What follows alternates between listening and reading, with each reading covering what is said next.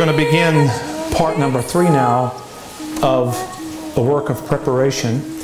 And uh, as we begin, as usual, if you'll join me as we kneel in prayer.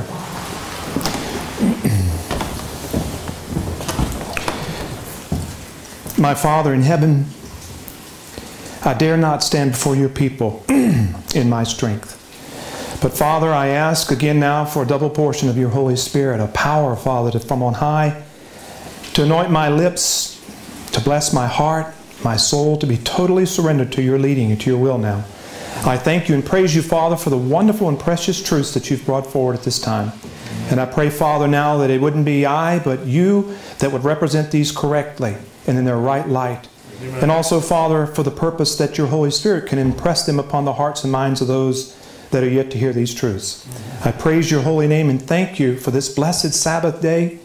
And Father, we ask that your holy angels would minister unto us as we desire to sit at your feet and once again learn from you the truth for this time. We thank you and we praise you and we believe in you, Father. In Jesus' powerful name, amen. Amen.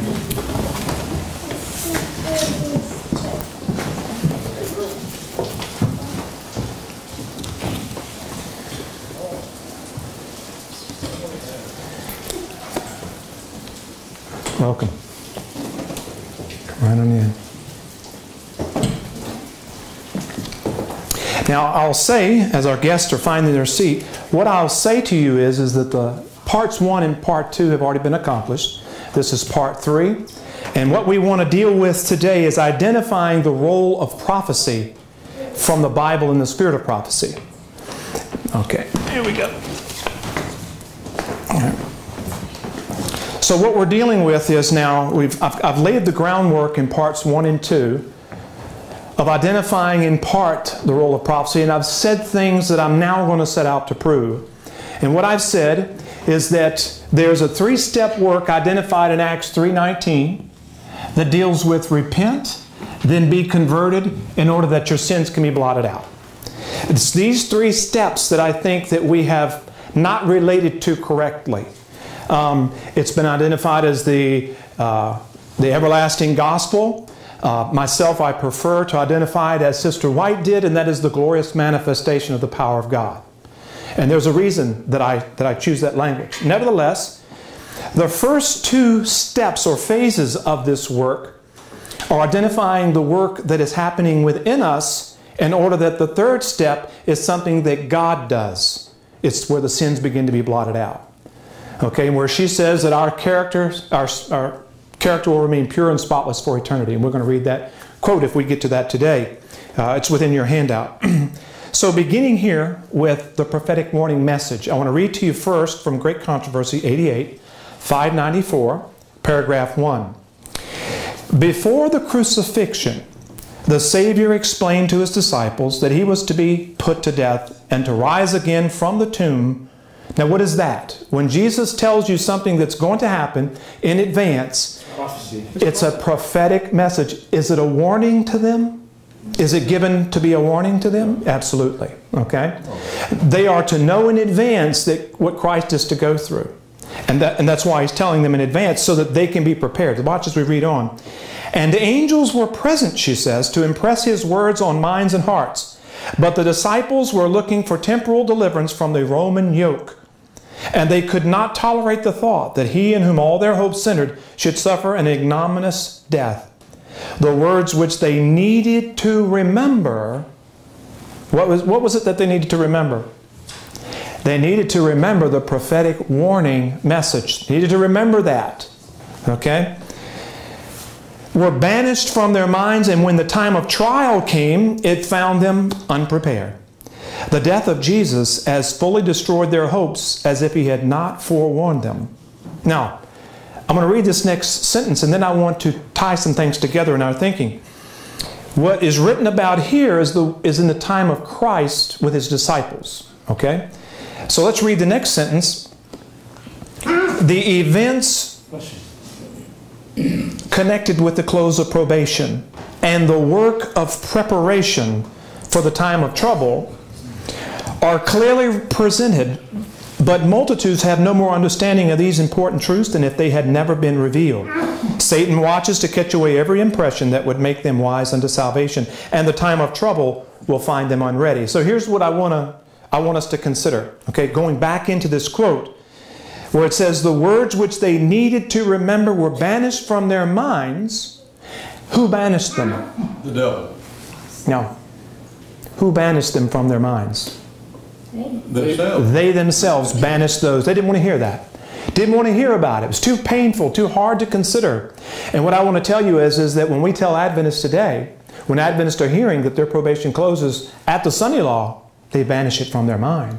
Too hard to hear, too close, too personal. Now watch. And when the time of trial come, when does our time of trial come? Sunday. At the Sunday law crisis, doesn't it? Okay? At the time of when the time of trial came, it found them unprepared. Why were they unprepared? Because they refused to be prepared. And what I want to emphasize in this quote right here is that as we are understanding and learning and even teaching that the Sunday law crisis just ahead of us is a place where we are going to manifest the character that we're now given an opportunity to prepare. Amen. If we're not accepting the reality that our probation closes at the Sunday law, Amen. then we're not going to be prepared. I guarantee you're not going to be prepared because you're not going to feel the urgency. That's the reason for the prophetic warning message that the disciples received. Jesus told them in advance. And why did he tell them? She says, uh, to the words which they needed to remember were banished from the minds, and when the time of trial came, it found them unprepared. The warning message was given to prepare them for the time that was coming. Amen. But because they banished it, because they did not allow their heart to truly receive such a cutting truth, such an earth shattering truth, and th- this is where we struggle, don't we? Because we, we believe the Sunday law is where probation closes, at least a large majority, the largest majority of Adventists believe. But if we really let our hearts believe that, and we've just had the King of the North come and stand within the confines of the glorious land, planted his standard, and is now going to withdraw. And as it was in 70 AD, when he comes back, it's destruction. Utterly destroy Jerusalem. And this is a Sunday law crisis parallel. So, what am I saying? I'm simply saying at this point that, friends, we need to allow ourselves to believe that the Sunday law is just before us. We need not banish these things from our mind, but let's take hold of the horns of that bull and know that Christ is there to help us be prepared. Okay? And that's really what we're dealing with in this whole series right now is the work of preparation. Amen. Okay? The covering of Christ and so forth. Now, notice that it said, the, I- I'll read to you again. She says, the events connected with the close of probation. What are the events connected with the close of probation? Very quickly. The escalation towards sun, the Sunday law. I didn't hear it. Daniel 11, 40 to 45. These are the events. What he says is down in Revelation 22 when he stands up. But the events connected with the close of probation, the close of probation is identified as Daniel 12, 1. So the events that precede that, the verses that precede that, are the events connected with the close of probation. Daniel 11, 40 to 45 has been given publicly, is out in the public domain on record by many different ministries identifying the final events before Michael stands up that we can become acquainted with. And that study is, you know, uh, very much covered. But then she says, after the events connected with the close of probation, the work of preparation. And that's what I'm really trying to emphasize in this short series is that there is a work, and this does not imply in any way a works religion, but clearly the language is not employed by me, though I take it up because the Bible and the spirit of prophecy use it. Okay? So there is a work to be done, and she says the work of preparation for the time of trouble are clearly presented. So we understand Daniel 11 40 to 45 in most all of our circles. If not, the material is out there in the public domain to be acquainted with, to become acquainted with. So now let's look at this the work of preparation. What I want us to consider is there's three steps, and this is what we were dealing with before. Acts 3:19 points us to a work of repentance. There's to be a conversion as a result, and then we come to the place where our sins are blotted out. Okay? Now, what I want to identify for us, This is step one. This is step two. And this is the final step. This is a three step process that Christ, in every reform history, takes his people through. What we were discovering in parts one and two, we were last dealing with Brother William Miller in the Millerite history. Was he a wise or was he a foolish virgin? We deem that he is a wise virgin because God does not save or guard the precious dust of the foolish virgins. Yet Miller did not have a complete and thorough understanding of the truth for that time because he did not accept April the 19th. He did not accept the midnight cry in its entirety, and he was not standing with that small company after the passing of the time on October the 22nd, 1844. But we see that he's a wise virgin. Now, William Miller, even though he chaired the committee that would oppose or at least contradict the company that were coming through this Millerite history as the wise virgins, yet the angels guard his precious dust. We discover that the reason for this is, is because William Miller had the oil in his lamp, and the oil therefore was not knowledge. It was not a message, but it was what that message did to him. It was the character in him that resulted from the knowledge that he did know and understand and receive. Amen. Identifying that it isn't a complete knowledge that we all must have of everything that any one man, one ministry, or one organization, or, or one church has. Okay? It's not about how well I know what my wife thinks or how much she knows what, what I think. It's about how much is it, how much information is it that Jesus is going to give me before I get it before I understand, before I fall in love with Christ and give Him my heart. And then, as a result, truly, I'm going to have a burden for souls like never before. I'm going to have a love for them that's not born of me, but that's born of the Holy Spirit residing in me. Okay, that's the process. We were talking about the ends versus the means and so forth. But what I want to do as we start here now, we're going to address these two first parts. Okay, again, dealing with Acts 3.19, repent therefore and be converted that your sins may be blotted out in the times of refreshing. Now, look at with me, well, let's do this. What I want to do now is very simple because I want to make room for some other things that I've added in. I'm going to read to you now accounts in the spirit of prophecy and how God uses what I'm identifying as a prophetic warning message that comes at stage one, okay? Always this way is a prophetic warning message. Always. And we're going to see that. I'm going to show you that. Jesus is going to show us that from the Bible. So there is a prophetic warning message. And what I intend to show you is, is it has a limited impact on our transformation of character. Now, I'm careful not to in any way imply that the prophetic warning message at some point gets tossed into the background and is of no more value to us. Never want to imply that. And I'm going to show that to you graphically as we move forward. But right now, let's look at the book of Isaiah, I mean, the, the, um, the prophet Isaiah. And I'm reading to you from, as you have it in your handout, Fourth Bible Commentary 1149, beginning in paragraph 2. And I read in your hearing, My brethren, you need to study more carefully the 58th chapter of Isaiah. This chapter marks out the only course that we can follow with safety. The prophet receives the word from the Lord. Watch, a message what? Starting. Startling in its clearness and force. Now, I'm, what I'm going to start doing here, what is that? What is it? It is startling. I'm going to start putting this here. And I want us to see the characteristics of what happens when God sends a prophetic warning message. Okay?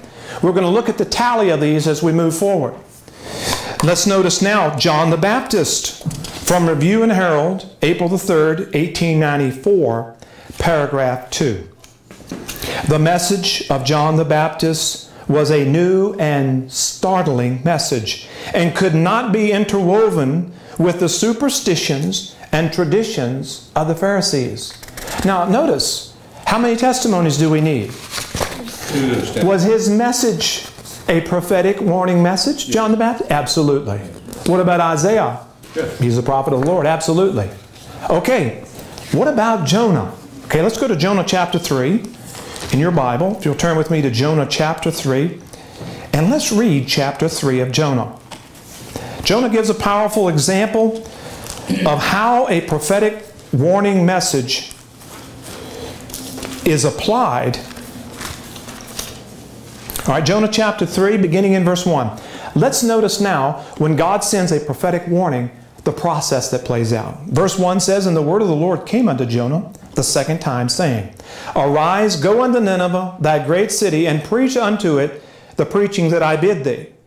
Now, let me ask you, when God gave Jonah the message, did Jonah jump up and say, Oh, praise the Lord, I, have been wanting to go to them, Lord. I, am really looking forward to sharing this message with them. Is that what he did? No. Absolutely not. Do you think there are people in the message today that really don't want to go and share it with other people?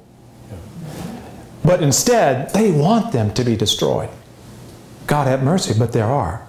Okay, but I'm saying to you that God is an example, is using Jonah as he will use anybody who's willing to go to give that message, even if he has to prod them a little more firmly. Reading on, Arise, verse 2, and go to Nineveh, that great city, and preach unto it the preaching that I bid thee. So Jonah rose and went unto Nineveh, according to the word of the Lord. Now Nineveh was an exceeding great city of three days' journey, and Jonah began to enter into the city a day's journey. And he cried and said, Yet forty days, and Nineveh shall be overthrown. What is that? That's the prophetic warning message. 40 days, brothers, and you're going to be destroyed. You're going to be overthrown. That's the prophetic warning message. Is he telling them in advance? Absolutely. Is he giving them plenty of time for a change of heart? 40 days? That's a lot. Verse 5 So the people of Nineveh believed God. Why did they believe God? Because he was giving God's message. You see, when we allow the Holy Spirit to use us, if we agree with the Holy Spirit and go where he wants us to go and say what he wants us to say, then it's not our work, it's Christ in us working through us to impact the hearts. And he knew exactly what those people needed to hear and when they needed to hear it.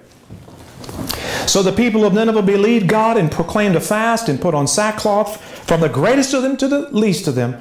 For the word came unto the king of Nineveh, and he arose from the throne, and he laid his robe from him and covered him with sackcloth and sat in ashes. And he caused it to be proclaimed and published throughout Nineveh by the decree of the king and his nobles, saying, Let there that neither man nor beast, herd nor flock taste anything, lest let them not feed nor drink water, but let man and beast be covered with sackcloth and cry mightily unto God. Yea, let them turn every one from his evil way and from the violence that is in their hands. Now, the point is, is that a prophetic warning message was given by the servant of God when he finally agreed to do it. As a result, the whole city was converted. Okay? But they were converted because they were first given a prophetic warning message. Now, it's leaving out a whole lot of what transpired with the people personally. But we're just understanding the mechanics that a prophetic warning comes, the people hear it, they are struck to the heart, they're converted. Okay, and I want to. We're going to detail that process out more. Um, there are some that would grab up at that and say, "See, see, see, see." He's just a warning message, and they're converted. We're going to see more. We're going to let the spirit of prophecy speak in every way. We're not going to bind her up. Taken from Conflict and Courage, page 230, paragraph 5. Speaking of this situation with Jonah, once more the servant of God was commissioned to warn Nineveh uh, as Jonah entered the city, he began at once to cry against the, the, it, the message, Yet 40 days and Nineveh shall be overthrown. From street to street he went, sounding the note of warning. Look, this is a warning message. What I'm saying to you is, is that God first sends a warning message. And was it startling to the Ninevites? Of course. Absolutely. 40 days and we'll be dead? Wouldn't that be startling? in the Millerite history. 1843? You think that was startling? Absolutely. The message was not in vain. The cry that rang through the streets of the godless city was passed from lip to lip until all the inhabitants had heard the startling announcement. The Spirit of God pressed the message home to every heart, and what? Caused. What, what caused? The message of the Spirit. Ah, so the words themselves don't do anything unless the Spirit of God is allowed to impress them upon the heart. Now, who opens the door of the heart? The Word? Does the Word kick the door in and just come on in? No. No, we have a part. So the Word will do nothing unless I open the door of my heart and say, Not my will, Lord, but your will be done. I want, I want to know what's truth. I'm willing to face who I really am, and I'm praying for your power and strength to overcome. Notice, the Spirit of God pressed the message home to every heart and caused multitudes to tremble because of their sins. And what? To repent. So repentance is part of this process. That's what it says. The Spirit of God takes the warning message and begins to apply it to the heart. And for those that Sister White says there's either honest or dishonest souls in the church today. And she says every truly honest soul will come to the light of truth in Great Controversy 521. Every truly honest soul will come to the light of truth. And the warning message is the light of truth. Okay? So the honest are going to be cut to the heart. They're going to be awakened. They're going to see. But let's read on. She says, Cause multitudes to tremble because of their sin and to repent in deep humiliation. Their doom was averted, the God of Israel was exalted and honored throughout the heathen world, and his law was revered. So, this is the impact that Jonah's message had. So, there's three testimonies. And how many do we need? Two.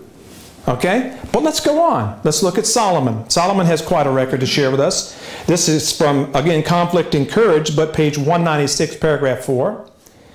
By his own bitter experience, Solomon learned the emptiness of a life that seeks in earthly things its highest good. He erected altars to heathen gods, only to learn how in vain their promise of rest to the spirit. Gloomy and soul harassing thoughts troubled him night and day. For him there was no longer any joy of life or peace of mind, and the future was dark with despair. Yet the Lord forsook him not. Praise the Lord. By messages of reproof. Now I want you to see something. In Leviticus 26, does God say, You break my commandment, I'm scattering you off the land right away? Is that what he did? You'll discover that there is there are warnings that are giving. There are things that he says he will do leading up to verse 20, 21, where he's going to scatter them off the land. When he says, And yet for all this, if you will not turn and keep my commandments, I will scatter you off the land. There are, there are warnings and reproofs that we are all given. Let's bring this personal and practical. In, your, in the course of life every day, you are given warnings by God. It's your responsibility to be prayerful and eyes wide open, searching to know what God's will is for you and what has to be changed. And you can know that God is going to be faithful to show it to you in a very tender and uh, palatable way, if I could say it that way. Yet the Lord forsook him not. By messengers of reproof and by severe judgments, he sought to arouse the king to a realization of the sinfulness of his course. Do you think God wants us to see that today? Do you think he wants us to see the sinfulness of our course? Amen. At last, the Lord, through a prophet, delivered to Solomon the startling message. Okay, so clearly we know that the prophetic warning message is a startling message. What, what does startle mean? Wake Shake, up. it's shaking. That means you were asleep, right? To startle awake is to wake suddenly, is to startle you. It's to alarm, alarm you, uh, put you on guard quickly. Okay, praise the Lord for the warning message. Laodicea needs that, don't they? Don't we? I will surely rend the kingdom from thee and will give to thy servant. Notwithstanding in thy days, I will not do it for David thy father's sake, but I will rend it out of the hand of thy son. Now, awakened, now listen, he's awakened now. This warning message has awakened him. We're looking here now at the, the effects of a prophetic warning message. Okay? Awakened as from a dream by his sentence of judgment pronounced against him. What was it when God gave him the understanding in advance that his kingdom was going to be rent from him and divided? That was a prophetic warning message. Okay? Solomon was told in advance what was to come. This is the prophetic warning message. Chastened in spirit, with mind and body enfeebled. Follow this now. He what? You follow me? No, I'm not hearing you. Okay, so uh, you, you got to see this. This is very important. The story of Solomon is given as testimony as to how the prophetic warning message impacts God's people as God designed it. So let's take, let's take notice here. Chastened in spirit, with mind and body enfeebled, he turned, we wrote, he turned, wearied and thirsting from earth's broken cisterns to drink once more at the fountain of life. So what happens? Turn. Okay? I'll leave it at that. Turn from life's. Um, he, Turn. he turned wearied and thirsting from the earth's broken cisterns to drink once more at the fountain of life. He could never hope to escape the blasting results of sin. He could never free his mind from all remembrance of the self indulgent course he had been pursuing. But he would endeavor earnestly to do what? To dissuade others from following after folly. In other words, one of the byproducts of the warning message, once you get it, once you turn from your follies, is to do what? Save other souls. This is a byproduct of Christ's love residing in your heart. Amen. So, what am I saying? I'm saying that if you're dealing with people who do not have a burden for souls, that are involved in ministry, but have no burden for souls, I mean personal interest in souls, you have reason to fear. These, these brothers and sisters are not fully turned from the world yet. Because you're going to see, and I'll show you another example among these testimonies, that when we turn from this world, when we truly turn from this world, we turn to face the Sun of Righteousness. And we cannot help but be filled with His love for the souls for whom He died. We may read some of those quotes here today. I want to read to you now from Noah. Okay, Noah gives a powerful testimony. And as it was in the days of Noah, so shall it be in the coming of the Son of Man in our day. Okay, so Noah's time is prefiguring our time. Let's watch this. Let's go to Matthew chapter 24. In Matthew chapter 24, and notice verse 37. Matthew 24. And what verse? 37. Verse 37. Verses 37 to 39. But as the days of Noah were, so shall also the coming of the Son of Man be. For as in the days that were before the flood, they were eating and drinking, marrying and giving in marriage until the day that Noah entered into the ark, and knew not until the flood came and took them all away. So shall also the coming of the Son of Man be. Now, notice what Sister White, after quoting those verses, notice what she says here, and this is taken from Christ Object Lessons, page 228, paragraph 1. I'm sorry, paragraph 2. So it is today. Men are rushing on in the chase for gain and selfish indulgence as if there were no God, no heaven, and no hereafter. In Noah's day, the warning of the flood was sent to startle men in their wickedness and call them to repentance. So the message of Christ's soon coming is designed to arouse men from their absorption in worldly things. Now, let's notice what's happening because, see, the, there's a call to repentance, okay? That's in this message. Call to repent. That's what we're understanding from this message. It's to startle men in their wickedness and call them to repentance. So the message of Christ soon coming. Are we preaching the soon coming of Christ? Are we is that our message? Amen. Amen. It is. At the Sunday law, even closer than most would think. Door probation closes for Adventists there. So, the message of Christ's soon coming is designed to arouse men from their absorption in worldly things. It is intended to, there it is, it's already up there, awaken them to a sense of eternal realities that they may give heed to the invitation to the Lord's table. The gospel invitation is to be given to all the world. Quote, to every nation and kindred and tongue and people. Revelation 14 6. The last message of warning and mercy is to lighten the whole earth with its glory. It is to reach all classes of men, rich and poor, high and low. Go out into the highways and hedges, Christ says, and what?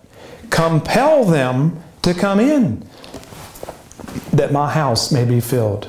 So here's your second witness to what happens when you receive the startling message and when you are roused from your absorption in worldly things, when you're awakened to a sense of eternal realities, when you yield to the invitation to the Lord's table, and then what happens? It says, you're going to compel them to come in.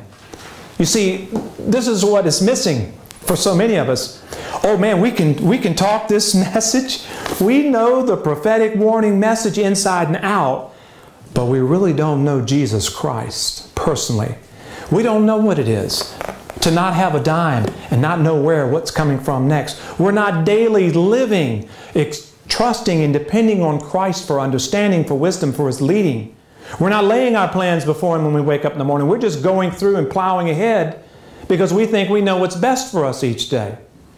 But in all our ways, we're to acknowledge Him and let Him direct our paths. And here, friends, at the end of the world, when it is so crucial that you and I are where we're supposed to be when we're supposed to be there, because God is leading, yet we're over here. And maybe souls are lost because we're not following as the Lord is leading. What I want us to see in this as a second testimony is that when we accept the fact that Jesus' is coming is imminent, this is the beginning of this is the list that begins to form of the things that this message does do. Okay? It startles us, causes us to repent. It awakens us as a Laodicean to the sense of our true sinful condition. We turn from this world. We realize, as did Solomon, that these broken cisterns have nothing to offer me. And we give the call to repentance, plus we're called to repentance. But reading on, we're not done yet. Notice this. This is a very sad epitaph to those here at this time in history that are prefigured by this quote of those who were in, in uh, Noah's day. This is taken from the Advocate, December the 1st, 1900, paragraph 1. Calamities, earthquakes, and floods, disasters by land and by sea will increase. God is looking upon the world today as He looked upon it in Noah's time. He is sending His message to people today as He sent it in the days of Noah. There is in this age of the world a repetition of the wickedness of the world before the flood. Many, now that's her day. What do you think she'd say about today? And here this young person went, walked right into a school in Oregon recently, a community college, and shot all the people that he shot. And she thinks that it was wicked in her day. Many helped Noah build the ark. All right, what's the ark? A safe place. That's a place of refuge. That's the place of refuge. All right? But they're helping him labor to build the ark. They, they look, now listen, you got to realize something. When God said, Noah, build that ark, what was he really saying? What was, what was Noah doing or saying back to God by building that ark? Trust, he trusted obedience. You, you're real close. He trusted, he had faith in God. He lived his faith. God, you said build it. I've never seen rain come out of the sky, Lord, but you're saying build it. I'm going to believe you, and I'm going to trust in you, and I'm going to exercise that trust by way of showing you in faith that I believe that I'm going to start building this ark. Okay, the same thing with the man who built his house upon the rock. He believed the rains and winds and flood were coming. He began to build the house. He prepared for something he hadn't seen yet. All right? But here, what I want us to see is, is that these people are helping Noah build the ark. So they're, they outwardly they look like they are men of faith, women of faith. But watch what she says. Many helped Noah build the ark who did not believe the startling message, who did not cleanse themselves from all wrong principles, who did not overcome the temptation to do and say things which were entirely contrary to the mind and will of God.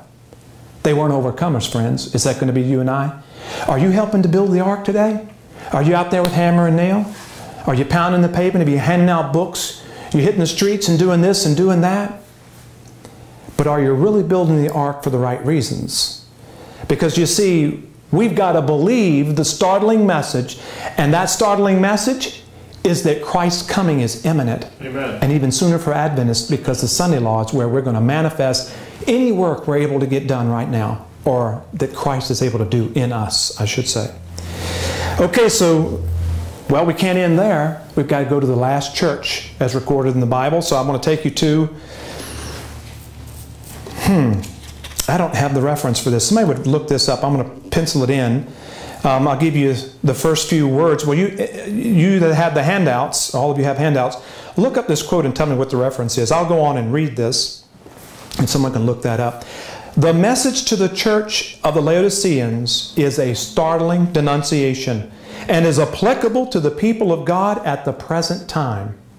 Could somebody open this side door, if you would? And uh, Brother Tom, would you tell me the time count on that so I'll know when to end? I didn't take note in the beginning. Reading this again, the message to the church of the Laodiceans is a startling denunciation and is applicable to the people of God at the present time. So, again, brothers and sisters, here we are at the end of the world, and we're given a startling message as the church of Laodicea, and it's supposed to have this impact upon us, and we move forward from that. 35? Okay. Fantastic. Okay.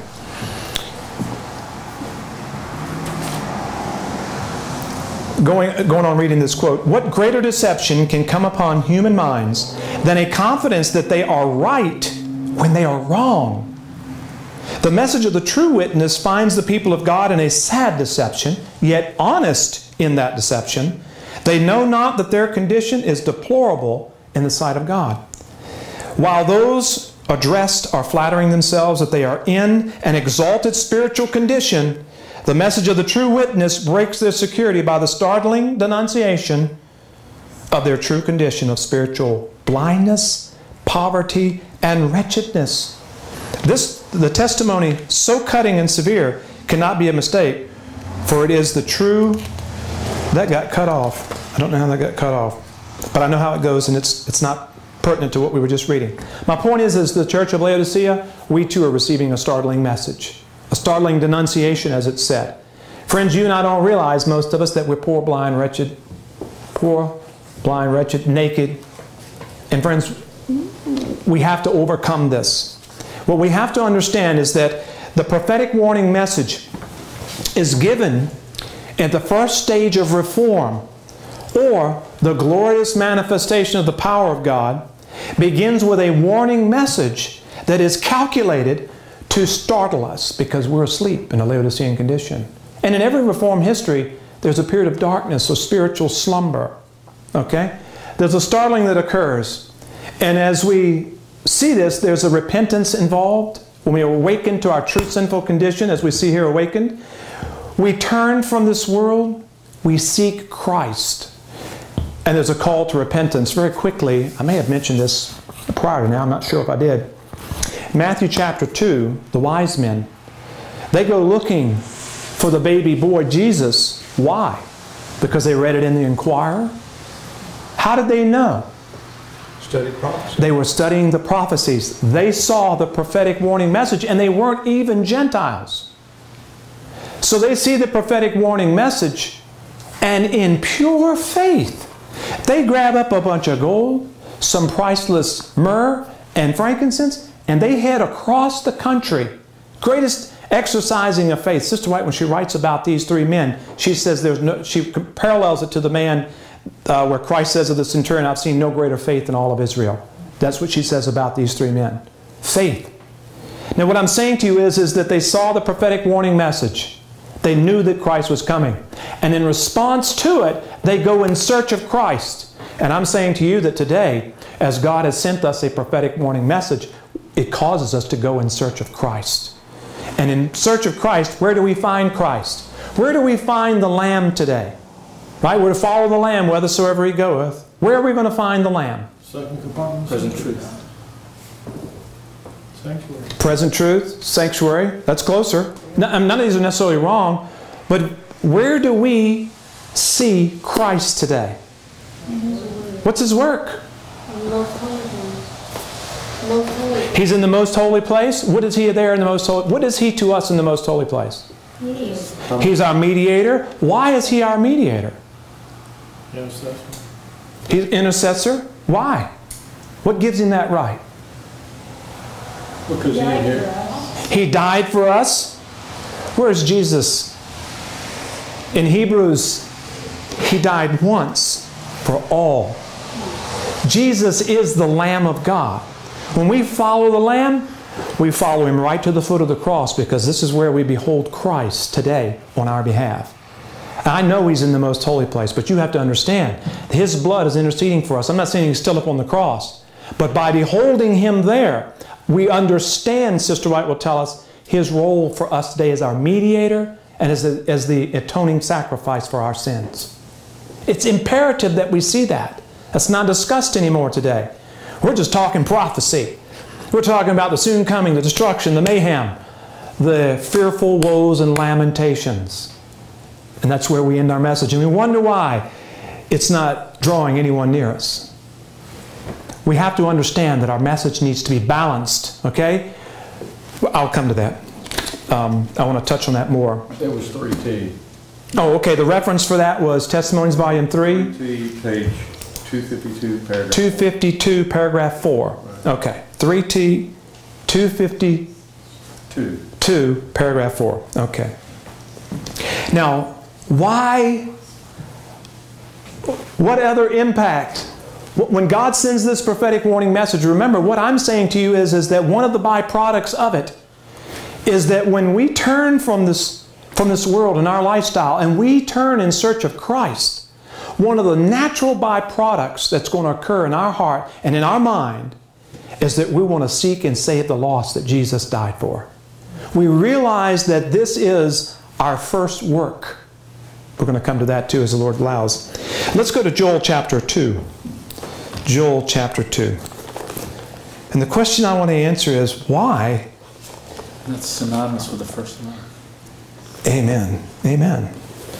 The first works is connected inseparably to the first love. Amen. And we're going to touch on that today by God's grace. Joel chapter 2, verse 1. Joel is the prophet writing about the end of the world, and he's writing about those things in order for you and I to understand our role at the end of the world. And notice what he says Blow ye the trumpet in Zion, and sound an alarm where? In my holy mountain. I- You can't blow the trumpet in Zion. You can't sound an alarm in his holy mountain unless you go into these places. His mountain, into Zion. This is God's church. This is his people. Not, not just a physical structure, but to go in among those that Jesus died for and to have a genuine burden for their souls as Jesus did. That's what our commission is. And why are we to go there? To play the harp? What does it say? Why are we to go there? To give the prophetic warning message. Play the guitar for them? What does it say? Blow What are we supposed to do when we get there? We're to blow the trumpet. And the trumpet, there's nothing about a trumpet that lulls you to sleep, is it? You can't, you can't drift off to sleep real peaceful with a trumpet playing, can you? The trumpet is startling. It's the message. It's the message of warning of the soon shut door for Adventists at the Sunday Law, Ezekiel 9. Judgment begins at the house of the Lord. You and I have to realize that once we understand this warning of Christ's imminent coming, we are to allow it to transform who we are, to change our thinking. Doesn't change our character yet, but it changes our direction, points us back to the foot of the cross, sends us in search of Christ, and we're going to detail here in a moment how this process works once the startling warning message comes. love and power. Amen. Ezekiel chapter 3. Ezekiel chapter 3, quickly, if you will. I just want to make this powerful point about the warning message that we are given. Um, I- Ezekiel chapter 3, but let, hold your finger there. There's one other verse I'm impressed to read right now in John 14.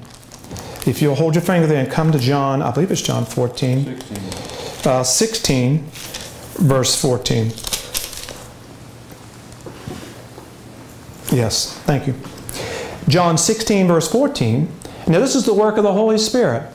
And notice what the Holy Spirit does. It says, He shall glorify me, Jesus is speaking, for he shall receive of mine and shall show it unto you. Do you think we're going to do any less? We're going to receive of the Father and we're going to show it unto you. That's what we do. Amen. Okay, so now back in Ezekiel. Ezekiel's living testimony of this very principle. In chapter 3, verse 17, Christ comes to Ezekiel and he says, Son of man, I have made thee a watchman unto the house of Israel. Therefore, hear the word at my mouth and give them warning from me. See, we're going to Zion, brothers and sisters, and there's a reason. We're going to look at why. In part, it's because we are to be saviors to these people. Look that word up in the Bible. You'll discover that Sister White in the Bible will confirm that we are to be saviors. We're to be like Christ, and through our giving of the life saving message, become saviors on behalf of Christ. Truly, Christ is our only Savior. And I'll bring that quote forward at another time. But notice what it says here. When I say unto the wicked, verse 18, Thou shalt surely die, and thou givest him not warning, nor speakest to warn the wicked from his wicked way to save his life. If you're refusing to go and share this with anybody that God gives you opportunity to, and of course you want to know that it's God's leading, but if you refuse to do this work, the same wicked man shall die in his iniquity, but his blood will I require at thine hand. Yet if thou warn the wicked, and he turn not from his wickedness nor from his wicked way, he shall surely die in his iniquity, but thou hast delivered thy soul. You've got to warn people. Number one, you're going to want to warn them because you have a true burden for their souls. But in doing that, you're simultaneously going to secure for yourself that the blood is not on your hands. And we have to realize our commission, once we hear the prophetic warning message, as it begins to impact us, we now have to go before God and ask, Lord, give me a divine appointment. Show me who you want me to minister to. I don't know everything, Lord, but I'll share what I do know, no matter how limited it is. Um, Colossians chapter 1. We'll see this, see the results of this in Colossians chapter 1.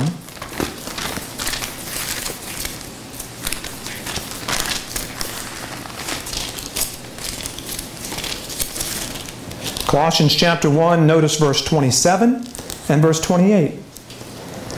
To whom God would make known what is the riches of the glory of this mystery among the Gentiles, which is Christ in you. What, what is this message of Christ in you, the hope of glory? What, what is that message? That's the everlasting gospel. It's the good news about Jesus Christ and His victory over sin on our behalf and that through faith he can be formed within. As we venture out upon his promises and take him at his word, he will meet us there and will grant us a greater faith. This is the mystery of godliness. There's the mystery of iniquity, but this is the mystery of godliness. Reading again verse 27 To whom God would make known what is the riches of the glory of this mystery among the Gentiles, which is Christ in you, the hope of glory, whom we preach, warning every man and teaching every man in all wisdom. Why? That we may present every man perfect in Christ Jesus. Your warning of these souls, brothers and sisters, is to present them perfect in Christ Jesus. But if we're not warning, their blood is going to be on our hands. Okay? Now, as you turn the page, we come to a section that I've got a few minutes to identify. And I want to draw this out on the board for you. Okay? What I've been saying up until this point, I want to draw it out now in a visual way. So I'm going to draw it as it is on your paper. And for those that would get this handout later, I want to show it to you this way. Now I want to put certain things in place. This is prophetic it's smaller, so the camera might not see it as well. Prophetic warning. Okay? This marks the beginning or the arrival of the prophetic warning in my Christian experience.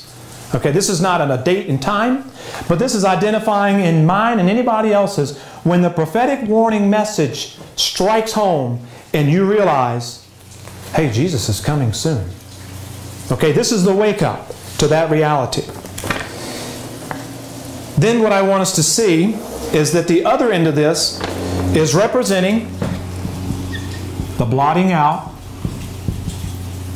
I'm just going to leave it as blotting out. The blotting out of sin in our life. This is the National Sunday Law. Okay? Now, let me be clear, just for those who would see this and don't understand what I mean when I put it this way. I understand that at the National Sunday Law, where our character, where the stamp is impressed, and we read earlier where our characters remain pure and spotless for eternity, that at the Sunday Law, this process of God's people being sealed is progressive. It begins in America. Then Satan comes down empowering the false message of apostate Protestantism in America, saying the Sunday is sacred. Those in America who are in the Adventist church and out of the Adventist church who have not received the love for the truth are going to receive strong delusion and are going to believe that lie that Sunday is sacred. They're going to believe that lie. And then from there, the whole world is going to wander after the beast. Therefore, the whole world is going to, like dominoes, have their Sunday law, and that process will play out and play out and play out and play out and play out until the last nation on this globe has had its Sunday law. The test has been put to God's people, and the two classes made manifest, and then the angel flies his way up to Jesus and says, I am finished. And Jesus stands up and says, It's done, it's over, it's finished. So there's a sealing process but it begins in America at the Sunday law test when it arrives. People say, oh, brother, I've got time, but you've got until the next Saturday or Sunday to make your decision. That's what you have. That's how much time you have. Okay? And yes, penalties, fines, and so forth increasing. That's a whole other study. But the point is this. At the Sunday law, she says the line is drawn in the sand. She says the door is closed to those who would not enter, while his hand of mercy is still stretched out to save those who have had no opportunity to learn what is true for this time. Okay, so there's a shut door right here, friends, and we need to realize this. Okay, this is a period of history now between, I'm going to identify this as 9 11 and National Sunday Law. Okay? Now, here's what I want us to see. I hope to be able to show by God's grace. I want to read this quote to you. It's in your paper, and it's taken from Review and Herald, November the 4th, 1890, and it begins in paragraph 2, I believe. Three. Well, 3, but it's broken up there. So, so say 2 or 3. Um, again, Review and Herald, November the 4th, 1890, paragraph 3, paragraph 2 is where I suggest you start looking. This is the conversion process. Some have used the term supernatural. You just eat God's Word and you're going to have a supernatural experience, and one day you're going to have the character. God is going to have formed it in you, unbeknownst to you. And apparently indicating through this statement that by no effort on your own part of putting away sin will this happen. Okay, that's a very very gross darkness. But let me make this point. From 9 11 until the National Sunday Law, God in His mercy is sending us the latter rain. What I want you to see is this is representing our Christian experience, okay? And I want to read to you this conversion process as it's detailed here. I, I, I praise the Lord when I came across this. Didn't even initially understand what, how powerful this was I was looking at. But let's look at the language and unmistakable identification of this process of conversion. And this is the point I wanted to make. That's why I walked over here earlier. Friends, this right here, anybody who is having this experience right here from 9 11 forward, somewhere in your experience where you awakened to that prophetic warning message and realize Christ's coming is imminent and God is doing what He's doing. Amen. When you realized that, you started having this Amen. encounter. Amen. And unfortunately, unfortunately, there are those that feel that this is what it's all about. Mm-hmm.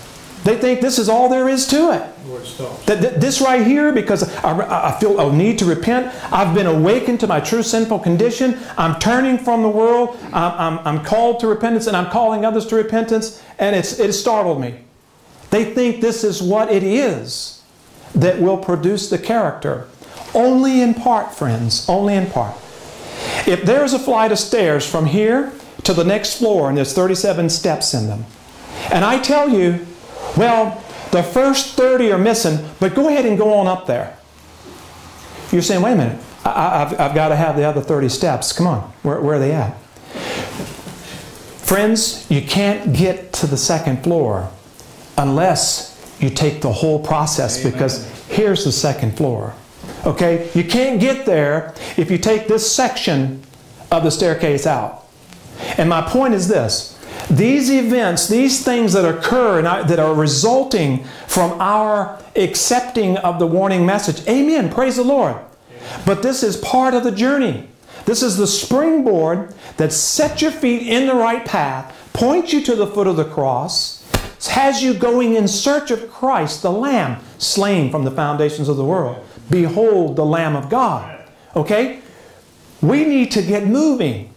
But those that are standing here and saying, Man, I am having a powerful experience, don't understand what God is wanting to do in our characters.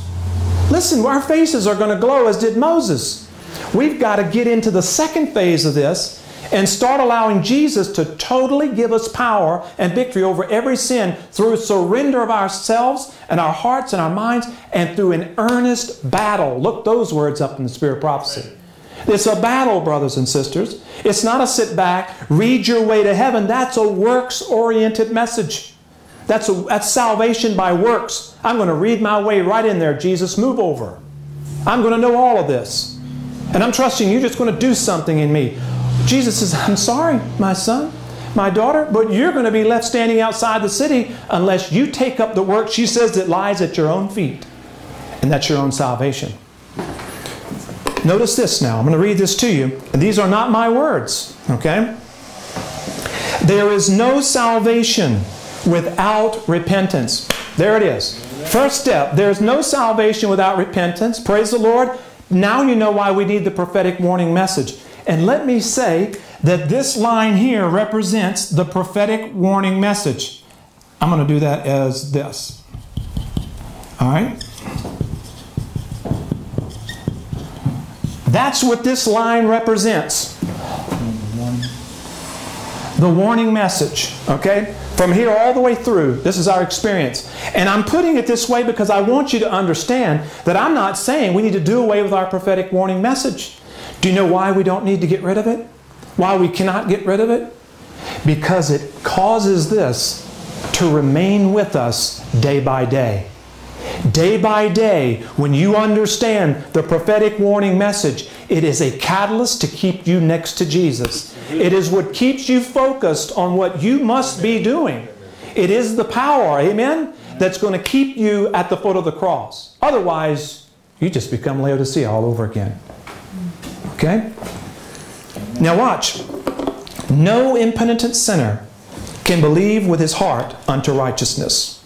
Repentance is described by Paul as a godly sorrow for sin that worketh repentance to salvation, not to be repented of. This repentance has in it nothing of the nature of merit, but it prepares. Uh oh, something's coming later.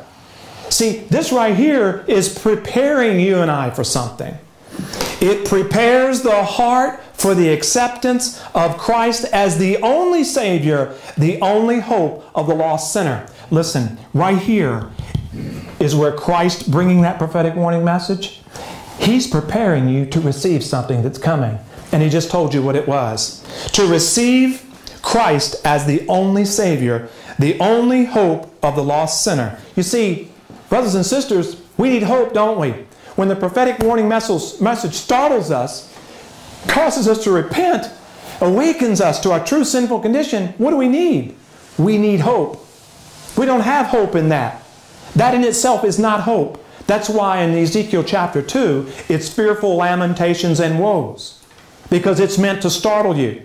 It's meant to jerk you out of your self confidence and help you to see that you need a Savior. That's why He's called a Savior, because you can't save yourself. And we have to have Him. So the warning begins a process. Here it is. As this is happening, you're awakened and it's preparing you to receive something else.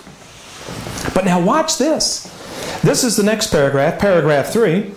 As the sinner looks to the law, his guilt is made plain to him and, he, and pressed home to his conscience, and he is condemned. Now, why are, how is this prophetic warning message making me look to the law? One of the components the strong central themes of the warning message is judgment, isn't it? How are we judged? We're judged by the law. The law is our judge, is it not? Is it not the mirror that when we look into it, oh man, we see the sin in our life. We see where we fall short. And that's what Jesus is doing by sending a judgment message. Right here, the judgment message. His only comfort. Okay, warning message. God says, listen, but you got to have comfort. And see, what we've been doing is we've been giving a warning message with no comfort whatsoever. She goes on and says, the only comfort of hope is found in looking to the cross of Calvary. That's your only comfort. So here's what I want to draw in. I'm drawing it right there for a reason. What I want to show you is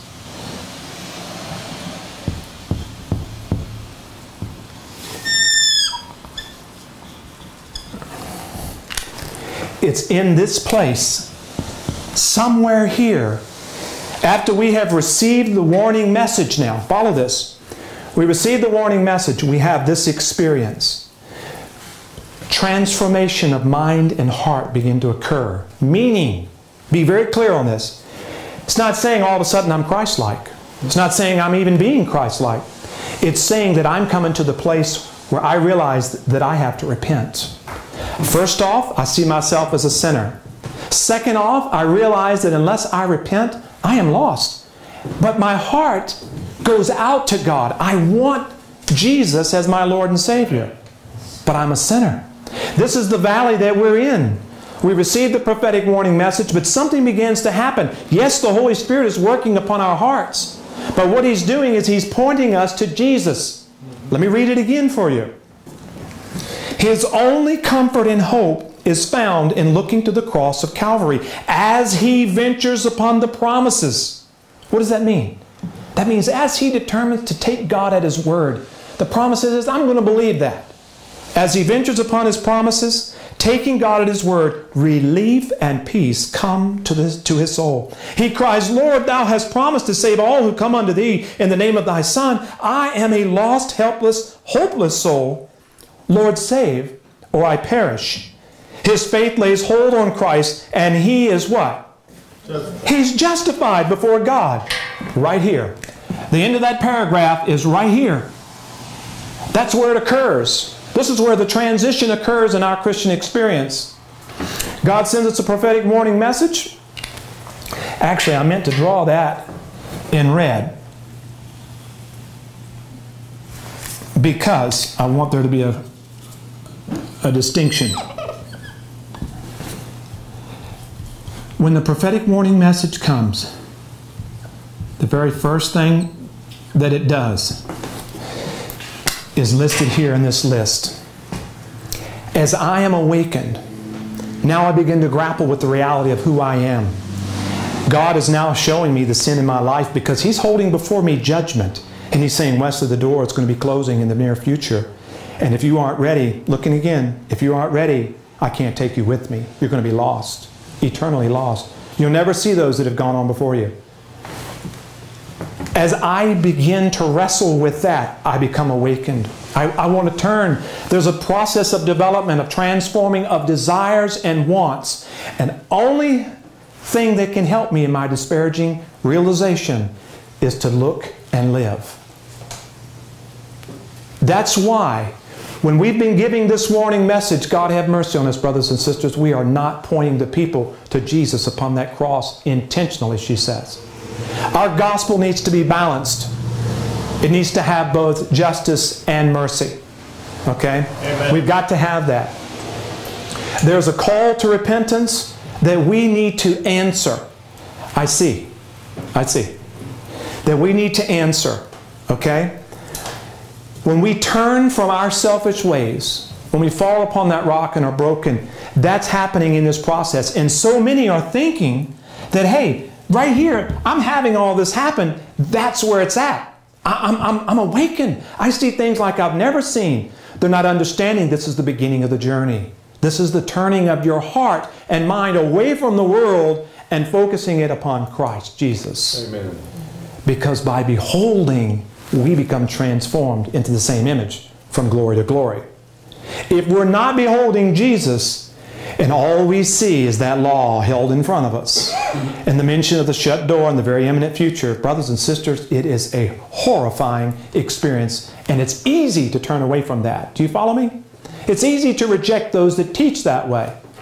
What we need to bring is hope to our message of gloom and doom. Amen. And if we don't, we're going to be responsible for the souls that we have pushed away from Christ. God have mercy if we think otherwise. Now I want to read to you more. This is this is we're just getting started here. I want you to notice what she says. I'll read it again. As the sinner looks to the law, his guilt is made plain to him and pressed home to his conscience, and he is condemned. Okay, that's what happens. The prophetic warning message causes you to look at the law, points to you that the door is about to shut and judgment will be dealt, dealt upon you. She says, His only comfort and hope is found in looking to the cross of Calvary. As he ventures upon the promises, taking God at his word, relief and peace come to his soul. He cries, Lord, thou hast promised to save all who come unto thee in the name of thy Son. That's what he's saying right here. Right here. Because it's here where he's beginning to look to Christ. And he's not despairing anymore. He's drawing hope and strength from the fact that Christ has promised him and he calls to God in faith. This is righteousness by faith, brothers and sisters. Looking to Calvary as he ventures upon the promises, taking God at his word, relief and peace come to his soul. He cries, Lord, thou hast promised to save all who come unto thee in the name of thy Son. I am a lost, helpless, hopeless soul. Lord, save, or I perish. And what do you think Jesus does? What did he do to Peter? Reach out. Lord, save. Instantly. Sister White says, if you go back to Desire Ages, instantly Christ reached out. He was there. Instantly. Jesus doesn't tally, uh, tarry long. His faith lays hold on Christ and he is justified before God. Right here, justified. Now this is, I drew this in because this is a transitional point for you and I from being, receiving, working, uh, God working repentance in us through this prophetic warning to there being a conversion. Somewhere in here there's a conversion process that occurs and it brings us to the point where when the Sunday law arrives, our sins are able to be blotted out. But make no mistake about it. Your sins are not going anywhere unless you're involved in the work of overcoming. Okay? If you're not overcoming, you're not overcoming. You're lost. And overcoming does not mean overcoming the latest series and understanding the latest series. Mine or anybody's. The overcoming is about overcoming that defect in character. You see, what's offensive to God is our disobedience, our self-will. It's not that we missed our turn. It's not that we, you know, stumbled over a root. This is not the perfection Christ is after. He wants so that your heart is free of every defilement, of every selfish act. Every selfish act. Reading on. But while God can be just and yet justify the sinner through the merits of Christ, no man can cover his soul with the garments of Christ's righteousness while practicing known sins or neglecting known duties. These are the requirements now. God requires the entire surrender of the heart before justification can take place. And in order for man to retain justification, there must be continual obedience through active, living faith that works by love and purifies the soul. So here it is. This is what I said now. You're building the ark in here, okay? You're building the house. You've got the foundation laid. Now you need to build the house. Now you need to build the ark. Right? Didn't Noah lay the whole structure of the boat first before he began to skin it out? The foundation of that ark was the framework. We need to be building our character right now. And our character being built is connected with faith. And how does the faith work? Faith that works by love. What does that mean? That means, Lord, when you tell me that you're going to flood this earth and I've never seen rain in my life, ever, never heard of it, but you're telling me you're going to flood this earth with fire, I mean, with, with water and destroy everybody on it, well, I'm going to believe you. I'm going to believe you, and I'm going to show you that I'm going to believe you because I'm going to start building the ark. I'm going to start developing the character. I asked this question earlier today at church I spoke at, so let me ask you this. What do you think was more ridiculous? That they were going to build an ark in Noah's day when there'd never been rain, never even been a flood, no surges of water of any kind. The Noah's building this massive ark, or today to stand here and tell people that we have to have a character free of sin. Which do you think is more ridiculous, more preposterous? They're equal, friends. It's the same thing. Today, God's not saying, build me an ark. He's saying, build me a character. Okay? Build me a character. Because that's your shelter in the coming storm. And I want you to build it before the world as a testimony of your faith in me. That you believe that my coming is soon. Do you get it? Amen. We need to show the world that we believe in what we preach and what we teach. Amen. And we do it by developing, forgive me, Father, by allowing Christ to develop within us His character through surrender of our will. That's simple. Not my will, Father, but thy will. Through the surrender of my will, moment by moment, I'm able to overcome. Now I want to close this out with this next paragraph. Um, without the grace of Christ, now we're going to qualify grace in, in just a moment. In fact, let me do that now. Lift him up. LHU 266, paragraph 3 says, There must be a deep work of grace, the love of God in the heart. What is grace? It's the love of God in the heart. Okay? And this love is expressed by obedience, the quote says. So let me go back to this paragraph. Without the grace of Christ, which is the love of God in the heart, which out, without the grace of Christ, without the love of God in the heart, the sinner is in a hopeless condition. Come on now. Listen. If love is a four letter word to you, if you think it's sick sentimentalism, then you don't know Jesus Christ. Because herein is love. What love is this that our God would lay down his life for man? Amen. This is love. And it's not just a sanctified decision, as somebody want to clinically describe it. Though that is a component of love, God's love, our love. But what I want you to see and understand is, is that the love in the heart is a principle, yes, that God puts within us. And that love, it's power. That's what Jesus says through the spirit of prophecy. She says, without the grace of Christ, without the love of God in the heart, the sinner is in a hopeless condition. Nothing can be done for him. But through divine grace, the love of God in the heart, supernatural power is imparted to the man. What is the supernatural power? Indwelling. Based on that quote, what's the supernatural power? The love of God in the heart. Come on, do you see that? So when we're saying that there's some supernatural work that's going to happen, understand that it's God's love in the heart that does that. Does that just come in? No, we have to surrender. We have to surrender our will. There's a work to be done, brothers and sisters, of dying to self. Amen. I want this, but Jesus says it's not good for me. I refuse to do it. I'm not going to give up. I'm going to keep fighting. Through the divine grace, supernatural power is imparted to the man. The supernatural power that's imparted to him is the love of God in the heart. And you can find, run this in her writings, love is power. Okay, love is power. It's not just a decision. Love is power, Sister White will tell us. Out of there, please. Out of there. Supernatural power is imparted to the man and works in mind and heart and character. It is through the impartation of the grace of Christ or the love of God in the heart that sin is discerned in its hateful nature and finally driven from the soul temple. Do you realize that the love of Christ, how starkly contrasted is to the selfishness of Satan and sin? See, when God puts love into our hearts, what He's doing is He is contrasting His character against the nature and character of this world. And we see sin in its repulsiveness. The reason we don't see the sinfulness of sin today is because we still sin. And we're not really fighting like we should. We're not overcoming. But as we allow the love of Christ truly to come into our hearts, brothers and sisters, there are things that are going to be so offensive to us that others are going to say, Come on, brother, that's nothing. That's, what is that? We need the love of Christ in our hearts. Wanting to finish this paragraph here, she says, It is through grace that we are brought into fellowship. Come on now. It is through the love of God in the heart that we are brought into fellowship with Christ, to be associated with Him in the work of salvation. His love in us drives us to seek out those which are lost.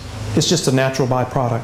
When the sinner believes that Christ is his personal Savior, then, according to his unfailing promises, God pardons his sins and justifies him freely. The repentant soul realizes that his justification comes because Christ, as his substitute and surety, has died for him, is his atonement and righteousness. Okay, summary. Prophetic warning message comes into your experience.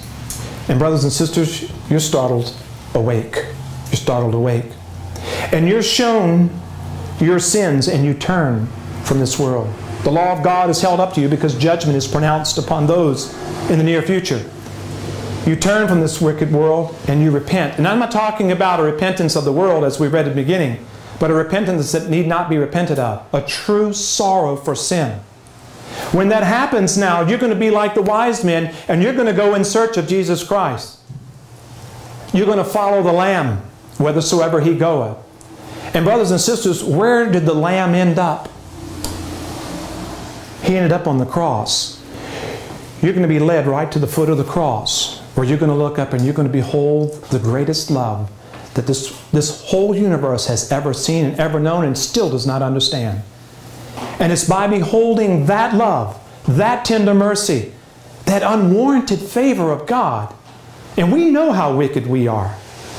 To think that He still loves me and that He sent His Son for me, this is where we are justified as we accept the promises of God that He is able to present us faultless. To believe in His Word. And here begins the journey of victory. Oh, it's not a pleasant one. It's not an easy one. But it is one nonetheless. It's our trek to the sea of glass. Brothers and sisters, may God help us. Help us to understand that prophecy has, by the way, the whole time, as I said earlier, the prophetic warning message is right here in our hip pocket. Because the prophetic warning message is ever telling me in the back of my mind, you don't have time to play around with sin. You don't have time. Remember the evidences of my soon coming? That's why we can never do away with it, and it's the foundation of our faith in Christ's soon appearing. We begin our trek, brothers and sisters, in order that our sins may be blotted out. That by the time we arrive here, Christ, through our surrender, will have achieved something within us. Yes, that is supernatural, but that supernatural is the love of God that is only obtained as we behold Christ upon the cross. A prophetic warning does not bring the love and warm fuzzies, friends. It's, it is something that we just read warrants that we need hope because it can be disparaging. May God help us to understand the limited role of prophecy or the warning message. No matter how elaborate it may be, no matter how intricate and detailed it may be, no matter how fascinating it may be, guess what? It is still just a prophetic warning. It's just warning you. So the real question is are you going to receive the warning and begin the work of building the house? That's the question. Shall we pray?